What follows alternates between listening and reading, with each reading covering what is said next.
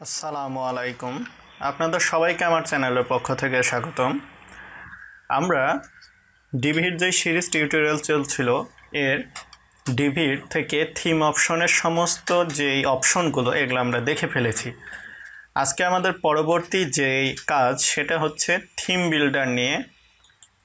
So আমরা theme বিল্ডারে click করলাম। থিম বিল্ডারে ক্লিক করলে এখানে আমরা দেখতে পাচ্ছি ডিভি থিম বিল্ডার, এই অপশনটা ওপেন হয়েছে।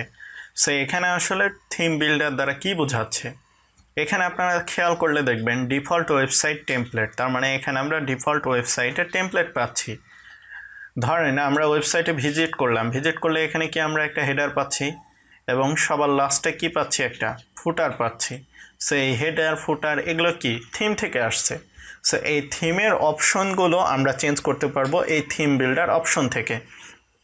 ধরেন এখানে অপশন কি আছে? এখানে অপশন যদি আমরা চাপ দিই, তাহলে এটি কি হবে? ডুপ্লিকেট হবে। সো এখান থেকে আমরা ডুপ্লিকেট করতে পারব। আবার এখান থেকে আমরা এটাকে ডিলিট করে দিতে পারব। ওপরের এই অপশন দ্বারা কি বোঝাচ্ছে? এটাকে আমরা এক্সপোর্ট করতে পারব। সো এই যে থিম বিল্ডার অপশন এটাকে আমরা এক্সপোর্ট করে নিতে পারব। এবং এখানে যে তিনটা ডট দেখতে পাচ্ছি, এখান থেকে duplicate disable template export template সবই অপশন এখান থেকে একসাথে পাচ্ছি। সো এখানে আমরা দেখতে পাচ্ছি অ্যাড গ্লোবাল হেডার তার মানে কি? এখানে আমরা গ্লোবাল একটা হেডার তৈরি করতে পারব। সো গ্লোবাল হেডার কাকে বলতেছে? গ্লোবাল হেডার দ্যাট মিন্স এই হেডারটা আমরা এখানে একবার তৈরি করে নেব টেমপ্লেটটা এবং এই টেমপ্লেটটা পুরো ওয়েবসাইট জুড়ে সব পেজে পাবে। আর স্ট্যাটিক একটাই সিঙ্গেল হেডার মানে কি? একটাই সিঙ্গেল হেডার মানে হচ্ছে প্রতিটা পেজের জন্য আমি আলাদা আলাদা হেডার ডিজাইন করব। এই পেজে আমার এইরকম দেখাচ্ছে, অথচ সব পেজে যে হেডারটা অন্যরকম হবে।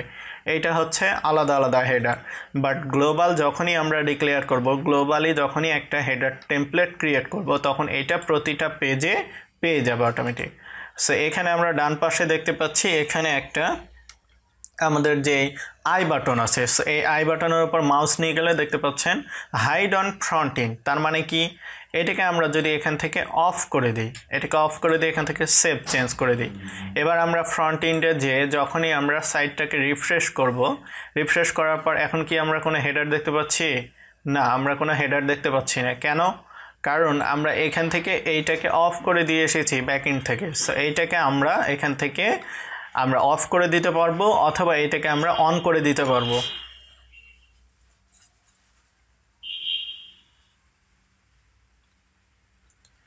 সো এখান থেকে আমরা এই অপশনগুলো পেয়ে যাচ্ছি। আমরা এখান থেকে যে কোনো কিছু অন এবং অফ করে দিতে পারব।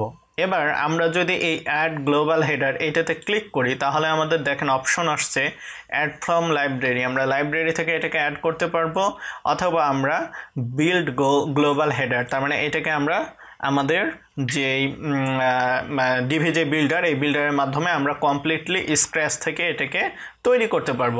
সো এখন এখানে দেখতে পাচ্ছেন ডিভিজে বিল্ডার এটা লোড হচ্ছে এবং লোড হওয়ার পরে আমাদেরকে অপশন দিবে, যেখান থেকে আমরা একবারে কমপ্লিট স্ক্র্যাচ থেকে আমাদের হেডারটা ডিজাইন করে নিতে পারব। এই যে এখানে আমরা দেখতে পাচ্ছি, এখন বলতেছে প্রিমেড লেআউট এখান থেকে করব, নাকি চুজ পেস করব, নাকি আমি স্টার্ট বিল্ডিং করব? আমি যদি স্টার্ট বিল্ডিং করি, তাহলে ধরেন আমি একটা সেকশন নিলাম।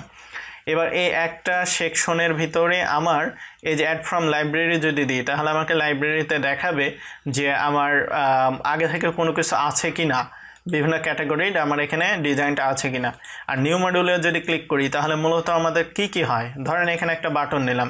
সো আমাদের দেখেন এই বাম পাশে কিন্তু একটা বাটন চলে আসছে। আমাদের হেডারের বাম পাশে কি চলে আসছে? একটা বাটন চলে আসছে। এবার এইখান থেকে আমরা প্রতিটা অপশন ধরে ধরে আমরা কিন্তু হেডারটাকে ডিজাইন করতে পারছি। সো যেহেতু এই টিউটোরিয়ালটা হেডার ডিজাইন নিয়ে না, তাই আমি আর দেখাচ্ছি না। আমরা পরবর্তীতে যখন ফ্রন্ট ইন্ডে এগুলোকে এডিট করা দেখব, তখন এই বিষয়গুলো আরও ভালোভাবে দেখব। আমি জাস্ট আপনাদেরকে দেখালাম যে এখান থেকে আমরা কমপ্লিটলি স্ক্র্যাচ থেকে আমরা ডিভির যেই হেডারটা গ্লোবাল হেডার এইটা আমরা এখান থেকে ক্রিয়েট করতে পারব। সো কত সুন্দরভাবে সহজে আমরা এখান থেকে করতে পারছি। সেমভাবে আমরা কিন্তু বডিটাকে এখানে পাচ্ছি এবং সেমভাবে ফুটারটাকে পাচ্ছি। সো এটা হচ্ছে ডিফল্ট ওয়েবসাইট টেমপ্লেট আমরা যদি ডিফল্টটাকে চেঞ্জ করতে চাই ডিফল্ট অবস্থায় যেটা আছে হেডার অ্যান্ড ফুটার এটাকে চেঞ্জ করতে চাই। এবার আমরা ধরেন নতুন নতুন টেমপ্লেট ক্রিয়েট করব। যেমন এই যে এখানে সব পেজ আমাদের যে সব পেজ এই পেজে ধরেন একটা ডিজাইন আছে। এই টেমপ্লেটটা আমাদের পছন্দ হলো না। তাহলে আমরা নতুন একটা টেমপ্লেট ক্রিয়েট করব। তাহলে আমাকে ক্লিক করতে হবে অ্যাড নিউ টেমপ্লেট এই যে এখানে দেখতে পাচ্ছেন ইউজান সমস্ত ধরনের এখানে কিন্তু আমরা অপশনগুলো পেয়ে যাচ্ছি। আমরা প্রতিটা পেজে কি কি আর্কাইভ পেজের জন্য কি কি যত ধরনের পসিবল অপশন সব কিছু ওরা এখানে দেখায় দিয়েছে। প্রজেক্ট এবং আদার্স আমরা ফোর ও ফোর পেজ পাচ্ছি, এখানে বিভিন্ন ধরনের পোস্ট পাচ্ছি এবং বিভিন্ন ধরনের পেজ পাচ্ছি। ধরেন আমরা হোম পেজের জন্য একটা ক্রিয়েট করব, তাহলে হোম পেজে ক্লিক করে কি দেবো আমরা? ক্রিয়েট দেব। তাহলে এই যে হেডারটা হবে এই যে টেমপ্লেটটা হবে, এই টেমপ্লেটটা হবে পুরোটাই হোম পেজের জন্য। এবং শুধুমাত্র হোম পেজেই আমার এই টেমপ্লেটটা শো করবে। এখন এই টেমপ্লেটের ভিতরে আমাকে কাস্টম হেডার আমি অ্যাড করব কাস্টম বডি অ্যাড করব কাস্টম ফুটার অ্যাড করব। এই যে কমপ্লিট ডিজাইনটা আমি এখানে অ্যাড করব, এই কমপ্লিট ডিজাইনটা শুধুমাত্র আমার হেডারের জন্যই আমার কাজ করবে। সো আপনারা নিশ্চয়ই বুঝতে পেরেছেন এখানে থিম বিল্ডারের অপশনটা কি? থিম বিল্ডারের অপশনটা হচ্ছে আমরা থিমের যেই ডিজাইনটা আছে থিমের যে প্রিভিয়াস ডিফল্ট ডিজাইন এই ডিফল্ট ডিজাইনটাকে আমরা চেঞ্জ করে আমরা পুরো কাস্টমাইজ করে নিতে পারছি এই থিম বিল্ডার অপশনের মাধ্যমে। সেটা খুবই পাওয়ারফুল এই জন্যই ডিভি এতটা পাওয়ারফুল এবং পপুলার বিল্ডার সো আবার সামনের টিউটোরিয়ালে আমরা থিম কাস্টমাইজার নিয়ে কথা বলব। ভিডিওটা নিশ্চয়ই আপনাদের ভালো লেগেছে। যদি ভালো লেগে থাকে অবশ্যই লাইক কমেন্ট শেয়ার করতে ভুলবেন না। আমাদের যে ফেসবুক গ্রুপ আছে, এই ফেসবুক গ্রুপে জয়েন করতেও ভুলবেন না।